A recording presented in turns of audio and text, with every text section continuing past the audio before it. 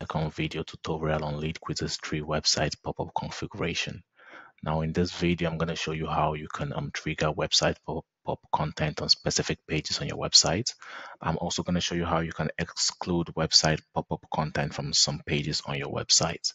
All right, now just like before, do not forget before you can get into any of this, ensure that you have your lead quizzes embedded tracking code embedded on all the pages um, on your website where you want website pop-up contents to be triggered on. All right, now if you haven't done this yet, you can find step-by-step -step guides in our help center for different websites. Now just go to help.leadquizzes.com and you'll see step-by-step -step guides in there. All right, now let's get into it. So you head back to your lead quizzes 3 account.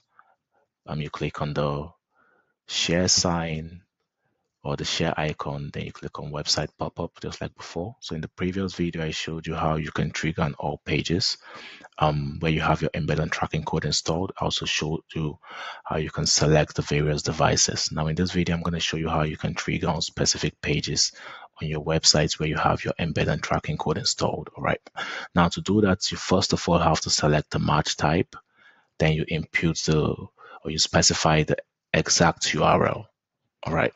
Now for match types, we have different types. We have the simple match type, exacts match, the starts with, ends with, and the contains. All right. Now the simple match type does the default match type and it's used to target um, a page on your website, um, ignoring any query string or fragments. All right. Now this particular match type will be correct if the URL path in which your visitor is on matches the URL um, path in which you specify in here. All right. So that's the simple match. The URL path in which your visitor is on have to match the um, URL which you specify here, and it ignores query strings, fragments, or protocols. All right.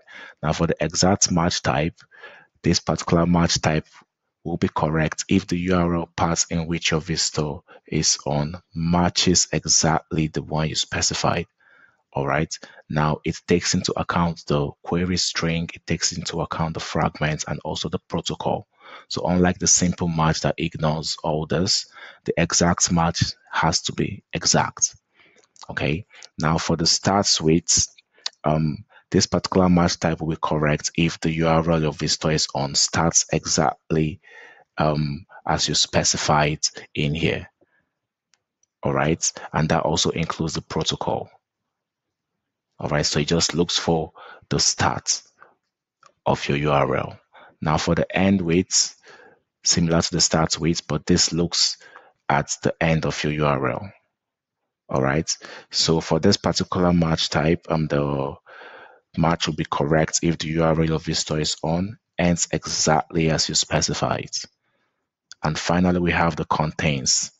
All right, now this particular match type will be correct if the URL part in which your visitor is on contains the text in which you specify right here in this box. Okay, now I'm just going to delve into um, showing you how that looks like. So for the simple match, I'm going to use the contact page of my blog sites because we're trying to trigger on specific pages and I have my embedded code embedded on all the pages on my blog sites. So I want this um, website pop-up contents to only trigger on the contacts page. So I save that. Um, so I have to include www. Yes, okay. So I save that. And just like before, we'll leave everything in default. So I head back to my blog site. So I go to the home page. I click on that. Now we shouldn't see a website pop-up because we specified that we want our website pop-up contents to only trigger on the contact page. All right, so home page.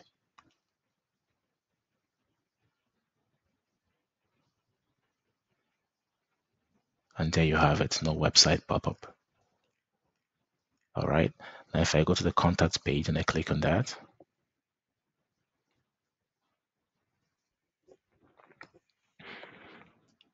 you have the website pop up in there. All right, now don't forget we said it ignores query strings and fragments. All right, so I'll just show you quickly. So let me just add a string in here. So a website pop up to be displayed because it ignores all that. All right. So that's for the simple match. Now I'm going to close this. I'm going to head back to our lead quizzes 3 settings. I'm going to switch this to exact match. And it's still on the contact page in our blog site. So I'm going to save it. And just like before, I'll leave everything in its default and I'll head back. Now, what did we say? We said we wanted to pop up in our contact page. And there you have it. Unlike the simple match, the exact match takes into consideration query strings and fragments. All right, so I'm just going to show you. So if I impute the same string in which I had before, so there we have it. I'm going to get a match.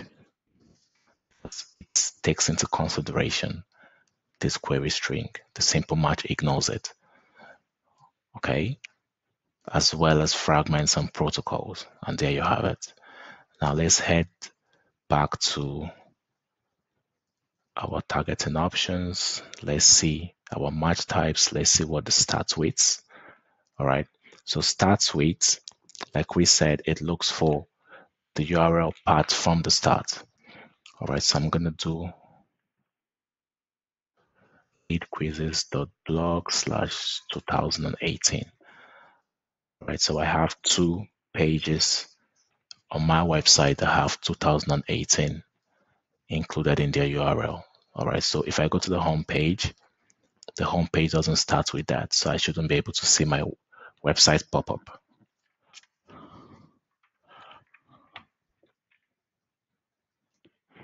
All right, and there you have it. There's nothing. But on the embed page and on the journey begins, I have 2018 included in the URL. So I'm going to click on the embed, click with embed page. So we should have our URL our website pop-up displayed. And there you have it.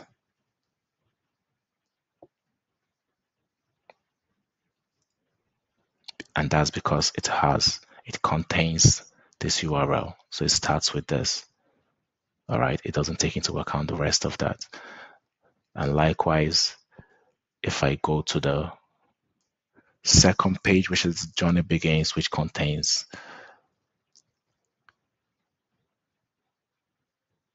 All right, so this page contains 2018 likewise. So I should be able to see my website content and there you have it. And that's because it contains 2018. So I'm just going to close this out. Now if I go to contact, let me just show you that it's not going to pop up because it doesn't start with the URL which I specified in my settings and there you have it no website pop-up all right so let's head back in there targeting options let's go to ends with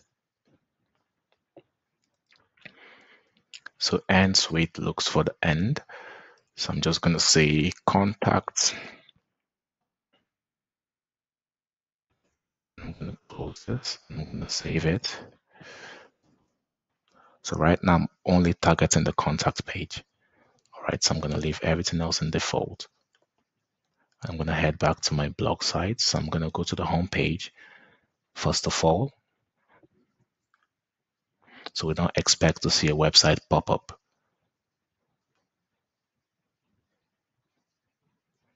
And there you have it. Nothing shows up. So we go to the contact page. And there you have our our website pop-up content. All right. Now let's head back to our targeting options. Let's look at the last match type, which is contains. So contains, I'm just going to say contains 2018. You're just going to look for this specified URL, which is 2018, and it's going to pull out your website pop up on all the pages that has that. All right, so contact, let me go to the home page. The home page doesn't contain 2018, so we don't expect to see a website pop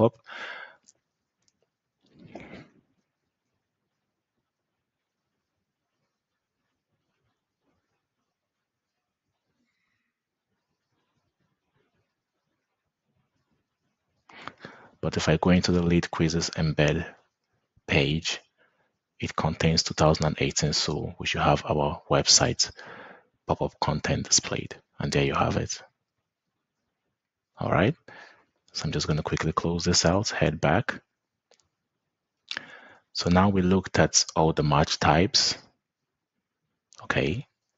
Now, next we're going to move on to how you can exclude certain pages from getting the website pop-up content displayed on them. Okay. Now, all you need to do is you set trigger on all pages, but don't show on the following pages. So for the match types, it's still the same explanation as we spoke about earlier. All right. So let's just say, for example, contains 2018. What I specified here is I want this website pop-up to trigger on all pages except those pages that contains 2018. All right, so we expect to see this on our home page, on our contacts page, but we don't expect to see website pop up on the other pages. All right, so let's go to the home page first of all.